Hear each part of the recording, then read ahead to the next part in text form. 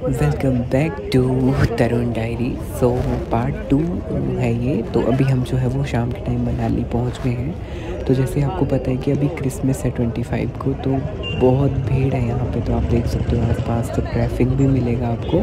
तो अभी जो है हम लोग जा रहे हैं अपने होटल हमारा जो होटल हमने बुक किया था वो ऑनलाइन ही किया था ओल्ड मनाली पे।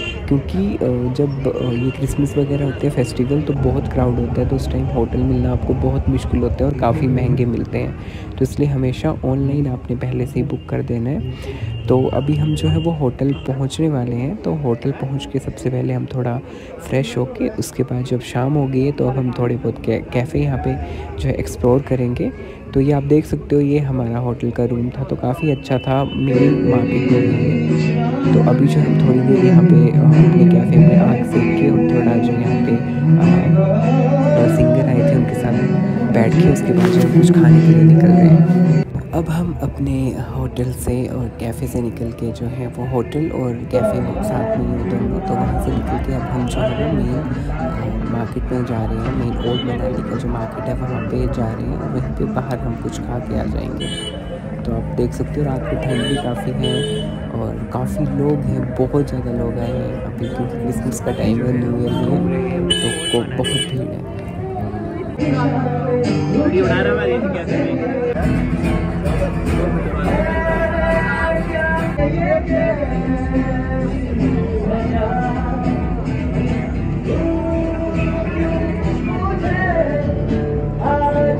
टू तरुण डायरीज़ सो आज हमारा है डे टू मनाली में। तो कल शाम हम शानगढ़ से मनाली आ गए थे।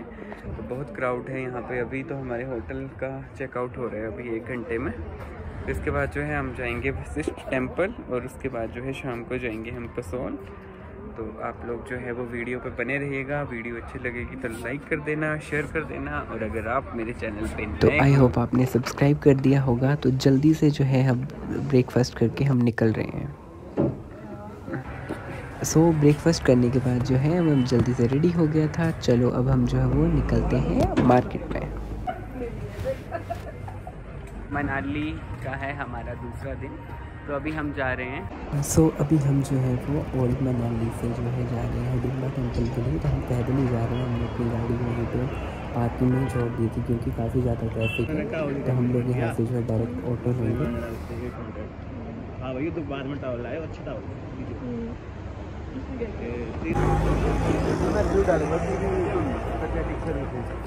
हाँ हाँ डाल दो और पहले मैं डिस्काउंट दे रहा था ना। ये भी मेंशन करना कि अब मैं डिस्काउंट नहीं दे रहा हूँ। ये भी मेंशन करना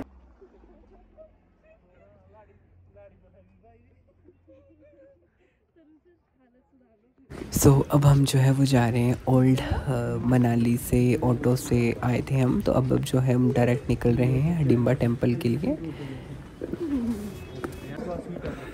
हेलो गाइस तो अभी हम जा रहे हैं हडिम्बा टेंपल सो so, बहुत मज़ा आ रहा है क्योंकि अभी क्रिसमस है तो काफ़ी ज़्यादा क्राउड है यहाँ पे।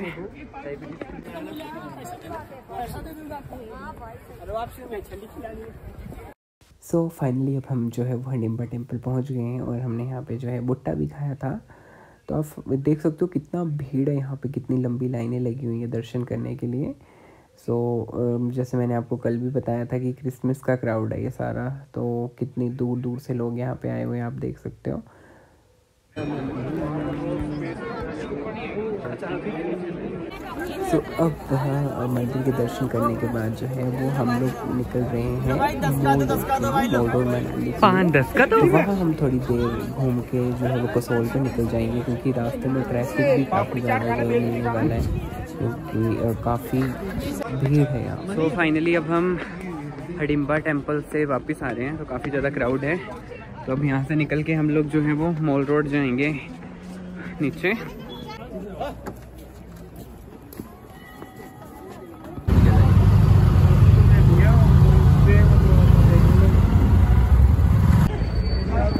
तो गाइस हडिम्बा टेंपल के बाद हम लोग जो है वो आ गए हैं ओल्ड मनाली मॉल रोड पे। तो इतना भीड़ है यहाँ पे, क्योंकि मैंने जैसे आपको पहले भी बताया क्रिसमस है तो क्रिसमस का बहुत ज़्यादा यहाँ पे जो है वो भीड़ है। तो मैं आपको दिखा देता हूँ। ये तो फिर भी नहीं है न्यू ईयर पे तुम्हारा हो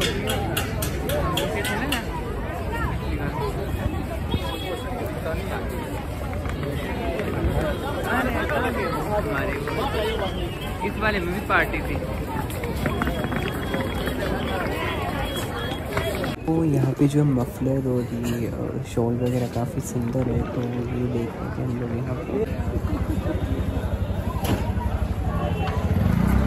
सो so, अब हम मॉल रोड पे थोड़ा बहुत शॉपिंग करके शॉल वगैरह खरीद के अब हम वापस निकल रहे हैं देखते हैं शिशु जाना है क्योंकि ट्रैफ़िक भी बहुत है।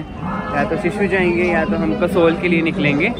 तो आप मनाली आए और मनाली के मोमोज और सिड्डू नहीं आपने ट्राई किए तो फिर क्या आप तो हम लोगों ने सिड्डू खा के उसके बाद सॉफ्टी खा के हम लोग जो है निकल रहे हैं कसोल के लिए।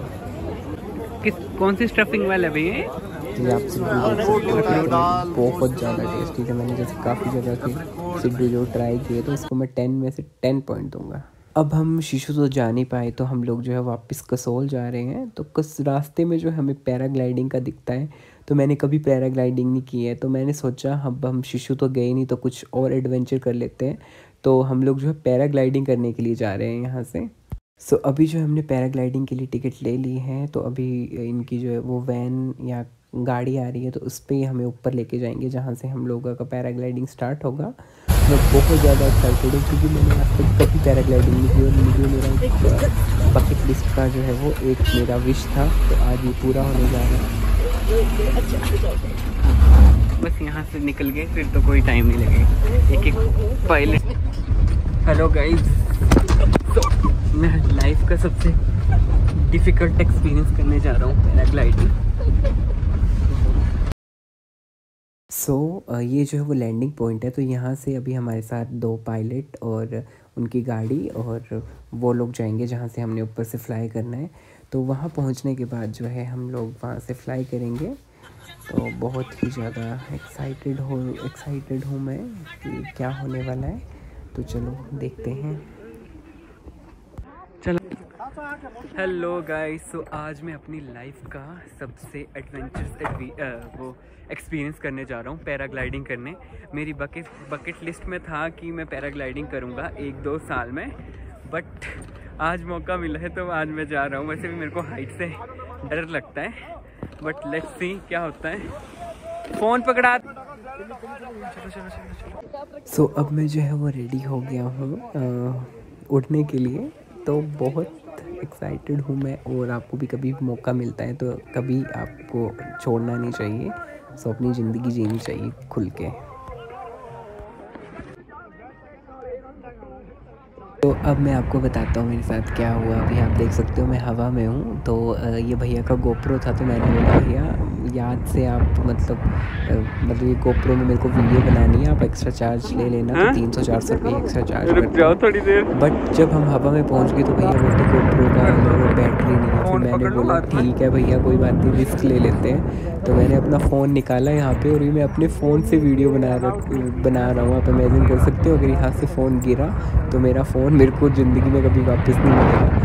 बट एक बार पैराग्लाइडिंग करनी है और वीडियो ना बने तो क्या मज़ा आएगा? तो मैंने भी रिस्क निकाल के अपना फ़ोन नीचे जा रहे निकाला है और इतनी टाइट मैंने पकड़ा था तो आपको मैं यहाँ से व्यू दिखा देता हूँ। इतना मज़ा आ रहा है ना मेरे को मैं आपको बता नहीं सकता। चलो नीचे।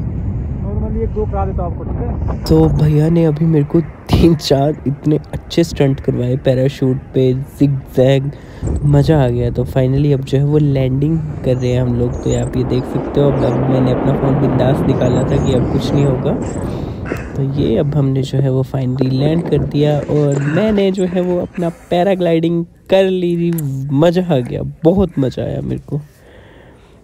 पैराग्लाइडिंग करने के बाद जो है अब हम लोग जो है डायरेक्ट निकल गए थे कसोल में। तो अब फाइनली हम जो है कसोल मार्केट में पहुँच चुके हैं।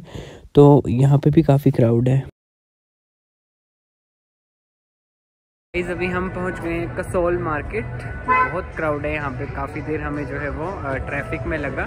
कसोल में जो है काफ़ी अच्छे अच्छे इसराइली कैफ़े हैं राइट तो कैफ़े के लिए जाना जाता है तो हमने भी काफ़ी ज़्यादा कैफ़े जो है, यहाँ पे एक्सप्लोर किए हुए एंड में हमने जो है इसराइली फ़ूड खाया।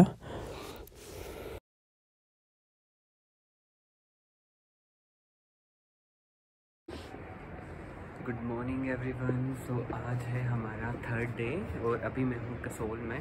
तो अभी हम कसोल से वो वापस जा रहे हैं शिमला के लिए। तो तीन दिन का ट्रिप था, ये काफ़ी ज़्यादा मज़ा आया। तो कसोल में भी काफ़ी मज़ा आया। कल शाम को हम पहुँच गए थे आठ, साढ़े आठ। ट्रैफ़िक बहुत था। उसके बाद जो है फिर हम एक कैफ़े में गए थे वहाँ पे डिनर करके। वापस यहीं पे हमारे होटल में ही जो है वो कैंप फायर था। तो वहाँ पे हमने इन्जॉय किया। सो so, ये हमारे होटल के आसपास का व्यू है जहाँ पे हमने स्टे किया था। तो मेन मार्केट के पास में ही था होटल तो यहाँ पे भी काफ़ी ज़्यादा मज़ा आया। तो अब जो है हम लोग सुबह ब्रेकफास्ट कर ब्रेकफास्ट तो हमने किया नहीं, हम लोगों के रास्ते में ही कर लेंगे क्योंकि टाइम नहीं निकलना है, क्योंकि ट्रैफ़िक बहुत है तो हम नहीं चाहते कि हम ट्रैफ़िक में ज़्यादा देर फंसे। तो अब हम जो है वो कसोल से निकल रहे हैं वापस शिमला के लिए। सो so, हमने ब्रेकफास्ट नहीं किया तो रास्ते में एक आंटी दिखते हैं हमें जो कि इतनी सुंदर वादियों के बीच में इनकी जो है वो छोटी सी शॉप होती है सिड्डू और मोमोज़ की। हम लोग वहाँ पे जो है सिड्डू और मोमोज़ खाते हैं क्योंकि हमने सुबह ब्रेकफास्ट भी नहीं किया था हम जल्दी निकल आए हैं। बहुत टेस्टी थे यहाँ पे भी। सिड्डू और काफ़ी ज़्यादा लोग यहाँ पे रुक रहे थे। तो आप ये देख सकते हो सिड्डू और पनीर मोमोज़ एंड वेज मोमोज़ खा के फिर हम जो है अपनी जर्नी कंटिन्यू कर रहे हैं। सो so, अब यहाँ से खाना खाने के बाद हम लोग जो है अपनी जर्नी स्टार्ट करते हैं।